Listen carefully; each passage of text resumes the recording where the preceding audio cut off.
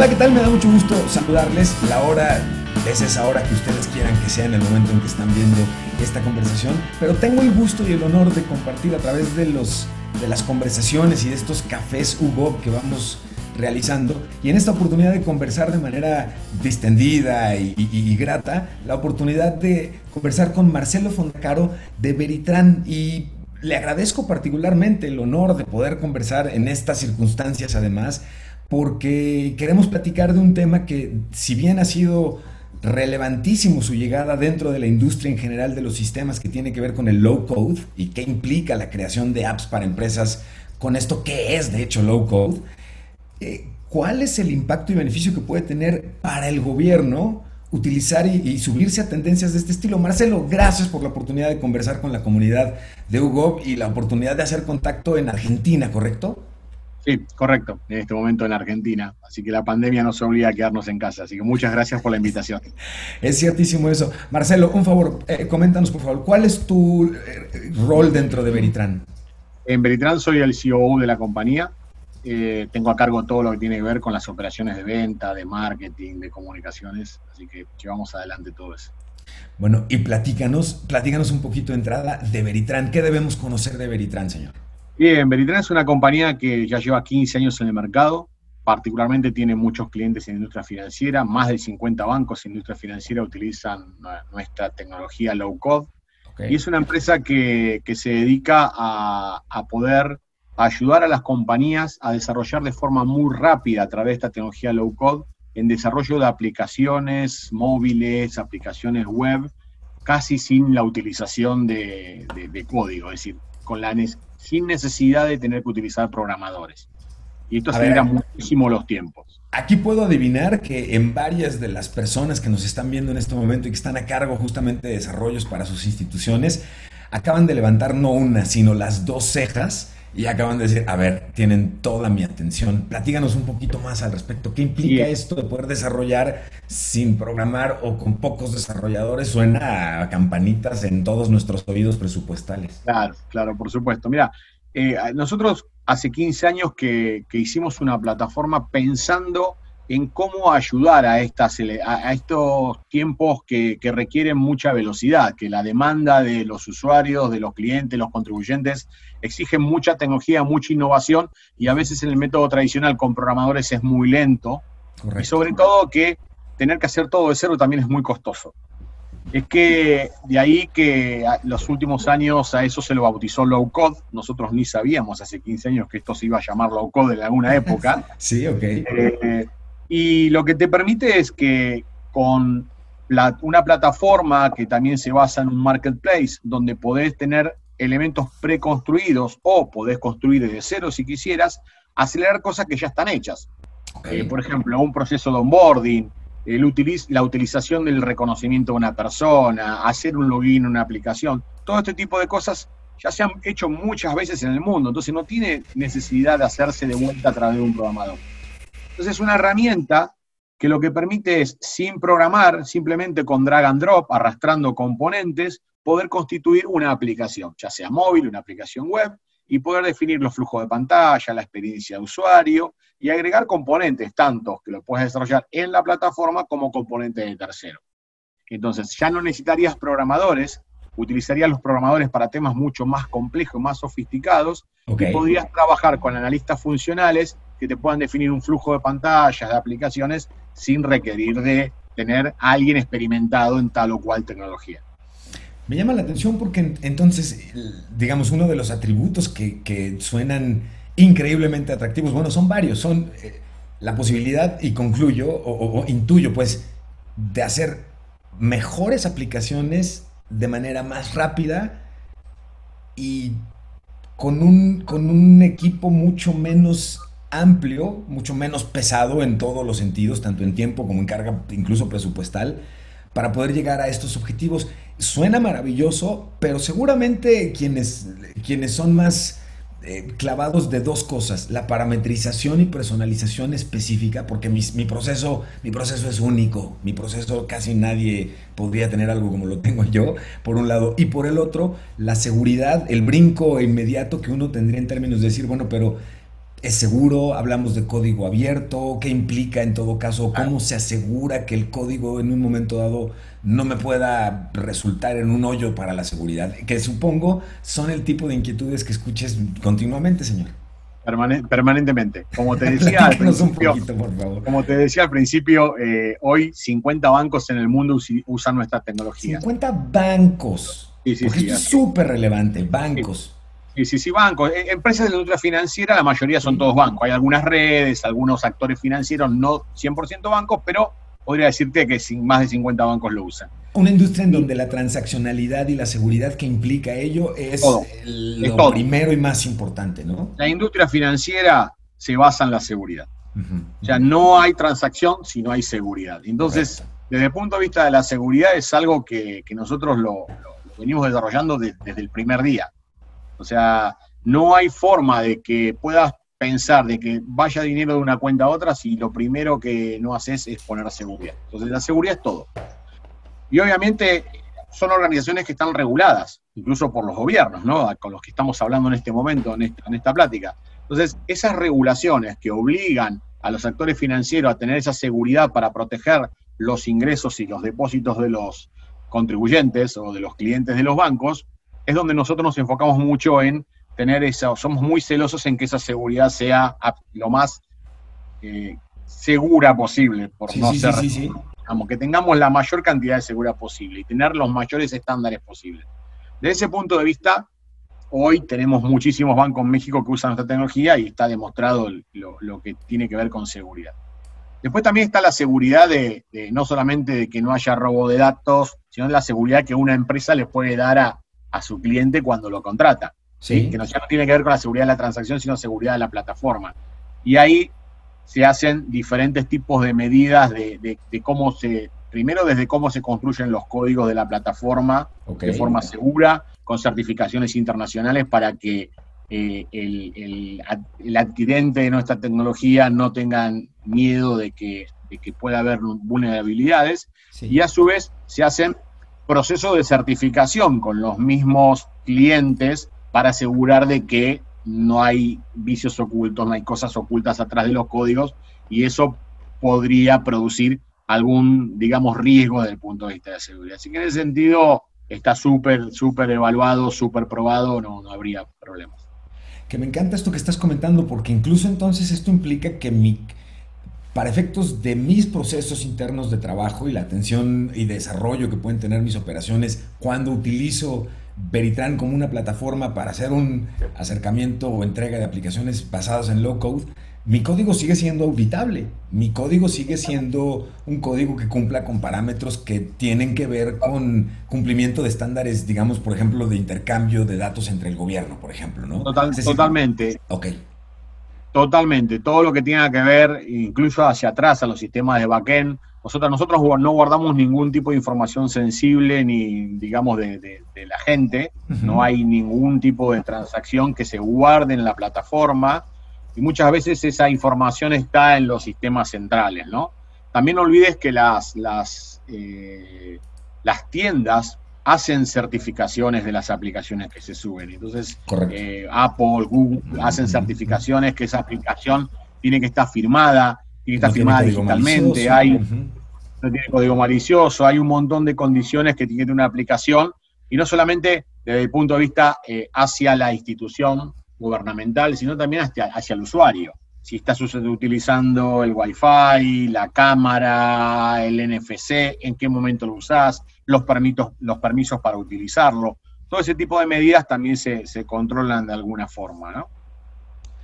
Hay una, hay una frase que, a mí me gusta muchísimo desde hace muchos años. Estoy, ahora que estoy conociendo un poco más de, de Veritran, me encuentro una coincidencia gratísima. Y es que esta frase que a mí me gusta mucho precisamente por cómo se construyen todo este tipo de cosas, es piensa en grande, comienza en pequeño y escala rápido. Y veo y me fascina que un parte del moto que veo con Veritran es innova continuamente, construye rápido, lanza al mercado y mantente adelante. platíganos un poquito cómo es que Veritran como plataforma reúne características que hagan una diferencia importante con todo lo que implicaría otro tipo de soluciones low code. Bien, bien, perfecto. Eh, primero, el, origen nos ayudó. Como te dije, okay, sí, sí. iniciamos en la industria financiera. El nivel de exigencia que tenés ahí no lo tiene ninguna otra industria. Correcto. Que tiene que ver con, la seguridad, como hablamos antes, con el tema de los, los volúmenes de transacciones y la cantidad de transacciones y la cantidad de usuarios que realmente eh, suelen ser recurrentes. Hay otras plataformas que están pensadas más, eh, mucho, un poquito más abajo en el tipo de usuarios o el tipo de aplicaciones. Es decir, una aplicación para un comercio de barrio donde usarán cientos de personas o miles de personas o cientos de miles de personas. En nuestro caso, nuestra plataforma es utilizada por millones de usuarios. 5 millones de usuarios, 3 millones de usuarios, 4 millones de usuarios. O sea, cada actor financiero que está usando nuestra tecnología, estamos hablando de millones de usuarios. Eso te da un volumen transaccional que te, que te obliga a tener esa sensibilidad a la hora de soportar eh, flujos muy grandes transaccionales. Los temas de seguridad, como te dije antes, son, son fundamental. Y después, eh, la innovación no viene desde el actor que desarrolla la plataforma. La innovación está en el mercado. Uno tiene que tener la capacidad y la apertura para poder pensar que los de afuera innovan más que uno y poder contagiarse de lo que sus clientes le proponen y tener metodologías rápidas de cambio. Muchas veces el error de las compañías es creer que lo que ellos hacen es lo único que hay en el mundo y hay que hacer las cosas como yo digo. Y nosotros tenemos una mentalidad distinta. Es decir, bueno, vamos a escuchar muchas veces y es un intercambio permanente con nuestros clientes y somos socios estratégicos y eso nos permite evolucionar junto a ellos. Cualquier necesidad que nuestros clientes nos propongan, siempre la ponemos en esa mesa y juntos lo desarrollamos. Por ejemplo, es así que en México desarrollamos el primer pago móvil en el año 2012, cuando no existía el concepto de pago móvil, incluso dentro de las marcas, y nosotros hicimos un pago móvil fuera de línea. Y fue en el año 2012 que lo hicimos. Y así, por ejemplo, la utilización de un segundo factor como soft token, una OTP, en el año 2009 ya estábamos haciendo esto. Año 2016 ya usábamos la biometría facial para hacer enrolamiento y para hacer eh, el, login a aplicaciones. Entonces, es como que nos fuimos adelantando y muchas veces adelantarte al tiempo eh, es muy difícil, porque uno tiene que ir evangelizando, tiene que ir diciendo, bueno, pero esto es lo que viene y esto va por acá, y el mercado está para, mirando para otro lado y uno parece un loco tratando de, de, ofrecer cosas que el mercado hoy no las está viendo, pero nosotros, como te decía, Ocho años atrás ya teníamos modelos de pago fuera, o sea, offline, modelos tokenizados, cuando recién ahora se están implementando las billeteras en todo el mundo. Y es así que muchos bancos y muchas organizaciones de Estado, hoy con el COVID, ven fundamental el uso de billeteras digitales. Y nosotros ya tenemos años de experiencia en venir haciendo esto. Entonces, cuando hoy hablan de billeteras digitales, otros se están experimentando, nosotros ya las tenemos hechas. Y estamos ayudando a los gobiernos a que el distribución de, la distribución de subsidios y de dinero a la gente que no pueda salir de la casa se haga a través de billeteras de forma segura, con volúmenes altos, sin ningún riesgo de que, de que se pueda caer el ecosistema. ¿no? Una pregunta que me, que, me, hago constantemente cuando, cuando conozco más de, de Beritran y obviamente no puedo perder la oportunidad de que hoy que tengo el lujo de conversar contigo, eh, preguntártelo. ¿Cómo han logrado ustedes que una plataforma como la que, la que han desarrollado ustedes y con el nivel de desarrollo y de especificidad en términos de seguridad y todas las características que estamos platicando, ¿cómo han logrado ustedes cambiar un modelo de negocio que se antojaría por la plataforma y sus y bondades como esta licencia enorme, ilimitada, ya sabrás, Enterprise, contratos triple anual y ya sabrás, ¿Cómo logran ustedes que una plataforma de este estilo llevarla a un modelo de negocio en el cual estamos hablando de suscripción mensual? ¿Cómo, cómo se sienten sus clientes enterprise cuando la suscripción y el uso de su plataforma se antoja tan simple y tan sencilla, cosa que celebro, como cualquier otro servicio que consumimos hoy normalmente en Internet? Me llama mucho eso la atención, señor. Sí, sí, eh, para nosotros también, ¿eh? eh no, es fácil, no es un camino sencillo. Me imagino tenemos muchos clientes que están en, los modelos, eh, digamos, eh, originales, en los cuales nosotros eh, todavía tenemos clientes, lo que le llamamos el Veritran One, que es el modelo clásico. La mayoría de, los actores financieros, por los volúmenes transaccionales que manejan, seguimos en ese modelo y cambia en la forma de atenderlo. No, no es un tema del precio. el precio es relativo siempre. lo importante es el modelo de atención. Obviamente un modelo en la nube, eh, una low code en la nube, como le llamamos Veritran Go, es un modelo desatendido. Es un modelo donde, donde los actores ingresan, hacen sus desarrollos tecnológicos, construyen sus aplicaciones, pero no es lo mismo en un proyecto donde tenés que tener la consultoría, todo el proceso de negocio completo. Ahí, ahí es donde cambia el, el valor agregado que le das en todo ese proceso de consultoría nosotros podemos tratar de llevar las mejores prácticas a los templates y a las aplicaciones que desarrollamos para que alguien las pueda adquirir. Pero después el, proceso de desarrollo en, una plataforma low code en la nube es individual.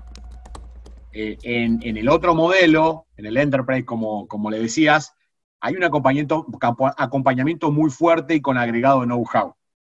Entonces, eh, no, es solamente el uso de la plataforma, sino también cómo usas la plataforma, dónde te recomendamos, dónde ponemos seguridad, qué tipo de seguridad, eh, qué tipo de transacción, esta sí, esta no, mejor vayamos para acá, vayamos. Hay una consultoría asociada muy fuerte y eso hace también una diferencia importante, que incluso con otras organizaciones que, no usan nuestra tecnología, también se ven, pero no es por la tecnología, sino también por el valor agregado que damos de la consultoría.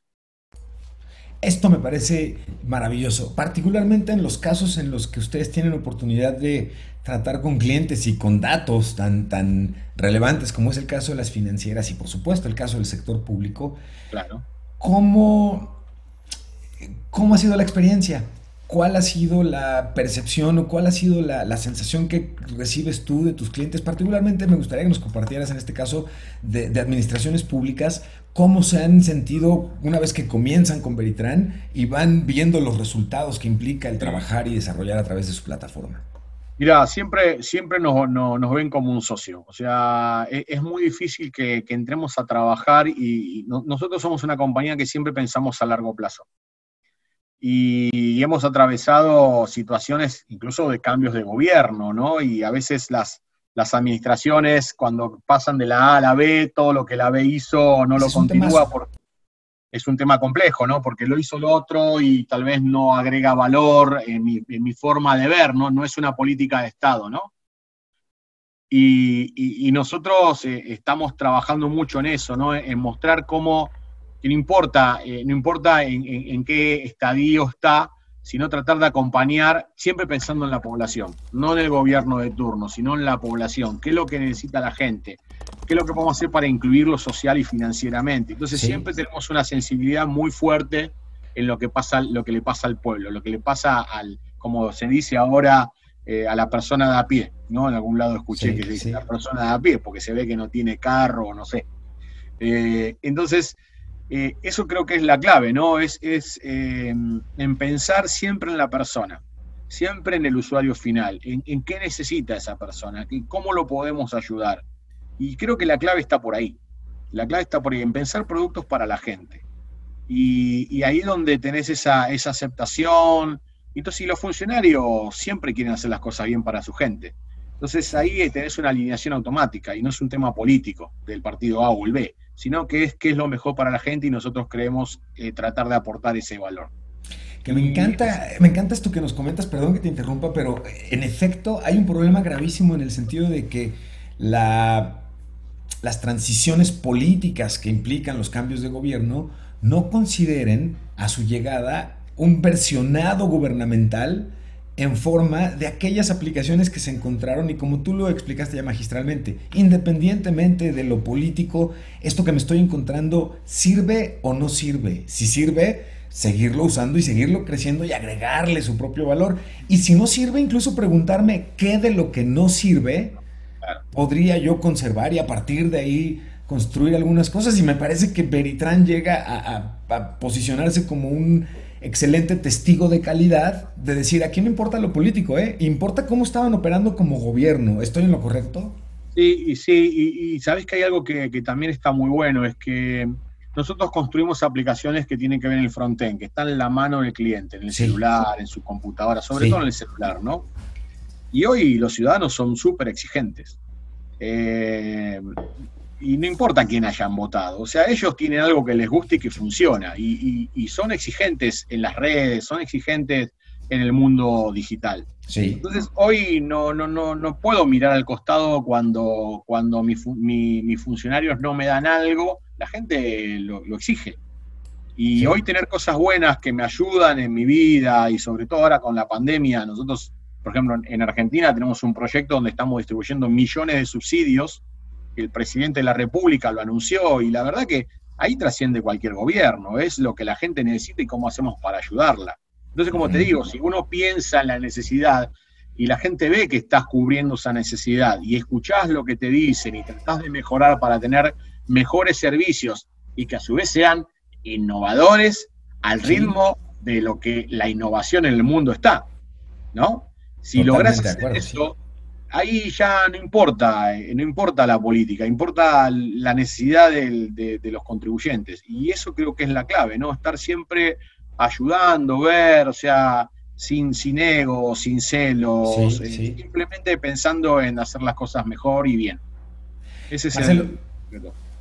Y, completamente de acuerdo contigo. No quiero abusar de tu tiempo, Marcelo, y evidentemente tampoco el del, de nuestra audiencia, pero particularmente no quiero abusar de la oportunidad de conversar contigo. Te quiero hacer algunas preguntas adicionales pero no puedo dejar pasar la relevancia de conversar con alguien como tú y no preguntarte y pedirte que nos ilustres acerca de las tendencias, de cómo ha ido transformándose el sector financiero, porque tú comentas ahorita eh, especialización, entre otros, en clientes de la industria bancaria, pero en algún momento de esta conversación, hace unos momentos de hecho, resaltas la importancia para ti de los usuarios a nivel móvil. ¿Cómo ha cambiado el irte a formar a una ventanilla en un banco? A atender tus requerimientos de finanzas desde el móvil y cómo ayudan ustedes para que esto suceda, señor. Bien, mira, nosotros cuando empezamos hace 15 años, cuando pensamos, pensamos en el móvil. Ya el, ya el online banking existía y, arrancamos la compañía pensando en el móvil. Y decíamos, esto es lo que, esto es lo que vino para quedarse, ¿no?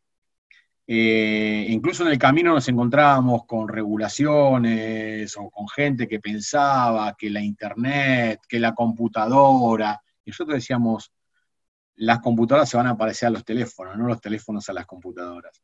Y la movilidad te da algo que es maravilloso, que es el, la ubicuidad, como vos decías y como se llama tu programa, es decir, es el aquí y ahora, eh, es, es fundamental, es poder hacer una transacción en cualquier momento y, cuando rompes la barrera de, la, del miedo a la seguridad, cuando demostrás que, las plataformas móviles son mucho más seguras que otras plataformas, cuando demostrás que el dinero no se pierde en el camino, eh, eso es, maravilloso, ¿no? Eh, que pueda hacer una transacción inmediatamente, que, que pueda hacer un onboarding digital, que puedo hacer un pago, que no puedo salir de mi casa y le puedo, le puedo pagar al vecino de la esquina, pasarle dinero porque no tiene dinero para ir a comprar el pan o lo que sea, creo que es fundamental. Y, hoy, lamentablemente, el COVID vino a, mostrarnos de que, de que tenemos que cambiar. Y algunas organizaciones cambiaron más rápida que otras, pero tecnologías como la nuestra son las que, las que te permiten hacer esto, ¿no? O sea, veo que algunos gobiernos están distribuyendo subsidios, pero de forma física, repartiendo tarjetas plásticas. ¿Sí? Nosotros decimos, no, es a través del móvil esto, o sea, no, necesitas una tarjeta plástica, no necesitas una fila en, una sucursal bancaria, es todo móvil, es todo digital. En México se hizo un proyecto como el CODI, que, que todavía le falta un poquito más de fuerza, pero son ideas que, que son importantes para poder eh, potenciar, y esto vino para quedarse. Eh, el no papel, el no plástico, el no filas, vino para quedarse y creo que va a haber más de esto. Este proceso de transformación digital o de digitalización acelerada que hemos tenido que experimentar justamente derivado de la pandemia que estamos viviendo, ¿qué se queda, señor? ¿Qué se va? qué crees que es la parte que va a ser temporal? ¿Qué se queda dentro del impacto que hemos tenido de, la inmersión obligada en muchos casos a la operación digital de nuestros negocios? Mira, eh, las cosas no cambian tan rápido. Eh, suelen tardar un poquito, eh, es decir, cuando la tarjeta de crédito apareció decían que se iba a eliminar el efectivo, que se iban a eliminar los cheques. sí, sí, sí. Y hoy tenés efectivo, cheques, tarjetas de crédito, tenés billeteras virtuales o, billeteras móviles. Y yo creo que va, por un tiempo va a convivir todo. Eh, muchos tienen la esperanza de que se elimine el efectivo, yo creo que se va a reducir. Otros tienen la esperanza de que las tarjetas plásticas también se eliminen, yo creo que se van a reducir. Y, eso tiene que ver con la creación de ecosistemas. Todavía se está viendo desde el usuario, desde aquel que tiene una tarjeta, desde aquel que tiene una cuenta bancaria, desde el lado de lo que se llama la emisión. Pero todavía falta armar el ecosistema desde la adquirencia, de la adquisición de la transacción. Para que un medio de pago sea exitoso, tenés que tener dos cosas. Primero, alguien que pague y alguien que reciba el pago.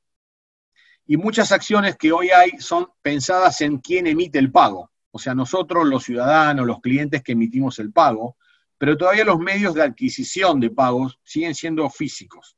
Vas al comercio a pagar y una tarjeta o una terminal de punto de venta, donde una TPB, como dicen en México, para aceptar el pago. Eso va a ir cambiando, va a ir cambiando. Algunas terminales se van a dejar de usar y se van a empezar a usar terminales ya virtuales, celulares con celulares, pagos a distancia. Y eso es lo que va a ir cambiando. O sea, va a ir cambiando ese mundo que hoy es físico, que es el que tiene mucho fraude, que tiene muchos costos de operación. Va a cambiar un mundo más digital, donde aumentemos la seguridad, donde se reducen los costos y eso hace que seas más inclusivo. Cuando sos más inclusivo, podés bajar en la base de la pirámide y dar servicios a más gente.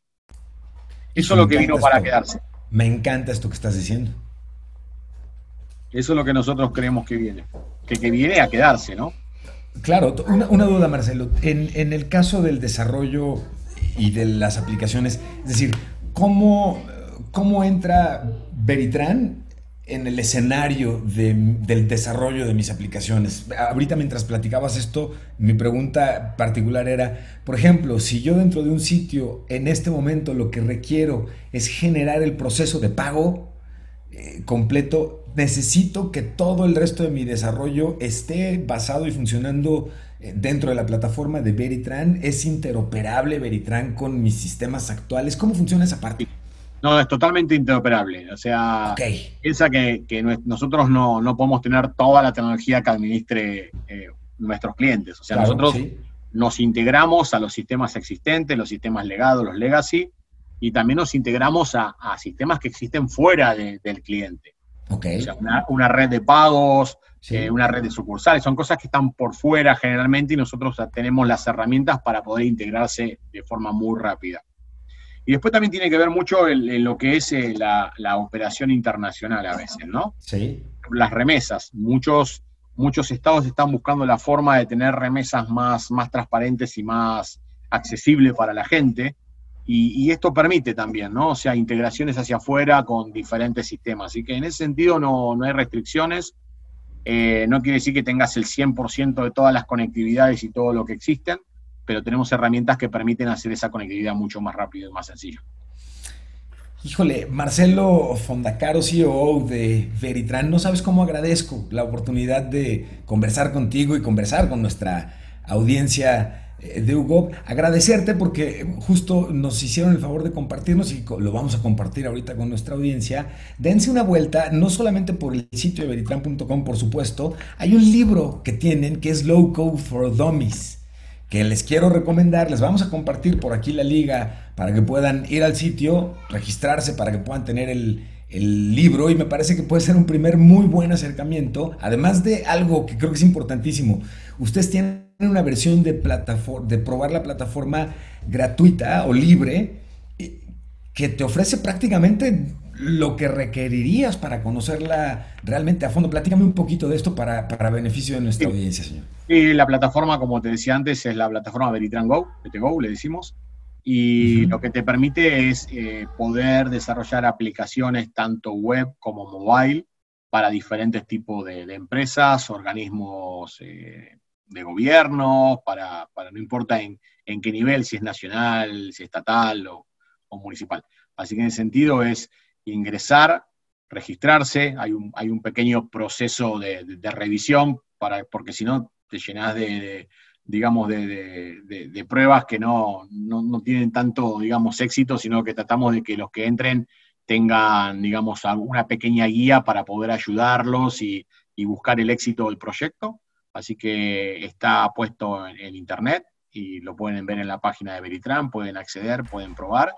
Y bueno, estamos ahí para ayudarlos. Pues Marcelo, de verdad que te agradezco con todo lo que vale la oportunidad de conocer mejor sobre la tecnología y los servicios, la solución que ustedes proporcionan. Te agradezco que pueda ser en estos tiempos porque si algo creo que ha sido benéfico en esta ola de videoconferencitis que nos ha dado a todos, cosa que celebro mucho, pero que hoy vemos, y tú lo comentabas al principio de la conversación, por eso lo traigo a colación, el costo que está teniendo en la cantidad y en la carga de trabajo que estamos teniendo quienes de alguna forma ya operábamos un poco así, pero que con clientes que hoy están viendo las bondades de trabajar de manera remota y que esa, me encanta que se nos convirtió en realidad eso de que esa junta podría haber sido un mail, hoy que nuestros clientes entienden que es claro, hacemos una videoconferencia, te muestro la pantalla, te pregunto dos, tres cosas y continuamos hoy ha hecho un cambio radicalísimo en la forma en la que operamos. Marcelo, te agradezco de verdad mucho y algún mensaje que nos puedas compartir con nuestra audiencia, por favor, para el cierre. Sí, sí, primero, bueno, agradecerte la oportunidad, realmente el placer es para mí y realmente lo agradezco de corazón. Creo que fue una muy, muy, buena, muy buena reunión, muy buena entrevista. Como decías, eh, sí, nos estamos obligados a encerrarnos, pero, pero estamos cerca todos, por videoconferencia, y bueno, y cuenten con, nosotros, pongo mis datos a disposición para lo que necesiten, tanto, tanto tu audiencia como, puedes consultar lo que, lo que necesiten y quedamos a disposición para, ayudarlos ¿eh? y agradecer realmente la, posibilidad de participar en el programa. Que tengas muy buenas días, tardes, noches, depende de lo que nos estén viendo ahorita. Muchas gracias, señor. Igualmente, muchas gracias a ti y a toda la audiencia.